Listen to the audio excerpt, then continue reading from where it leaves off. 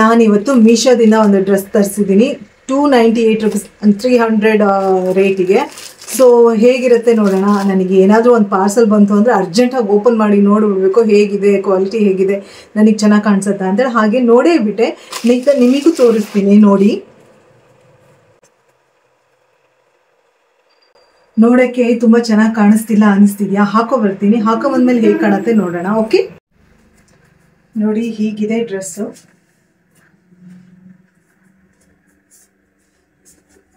ಇದನ್ನ ಇಷ್ಟೇ ಅಲ್ಲ ಸ್ಟೈಲ್ ಮಾಡೋಣ. ಪ್ರಿಟಿ ಸರ ಇದೆ, ಇದನ್ನ ಹಾಕ್ತೀನಿ.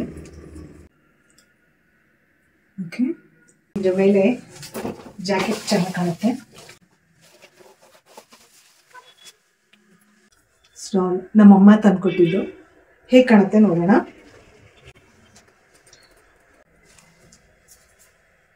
ಶೂ ಹಾಕೊಳ್ತೀನಿ.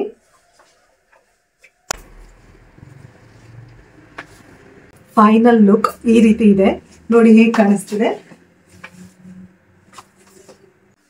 ಸೊ ನನಗಂತೂ ಈ ಲುಕ್ ತುಂಬ ಇಷ್ಟ ಆಯಿತು. ಒಂದು ಜಾಕೆಟ್ ಆ್ಯಂಡ್ ಒಂದು ಸ್ಟಾಲ್ ಹಾಕೊಂಡು ನೀವು ಈ ನ ಕಂಪ್ಲೀಟ್ ರಾಕ್ ಮಾಡ್ಬೋದು.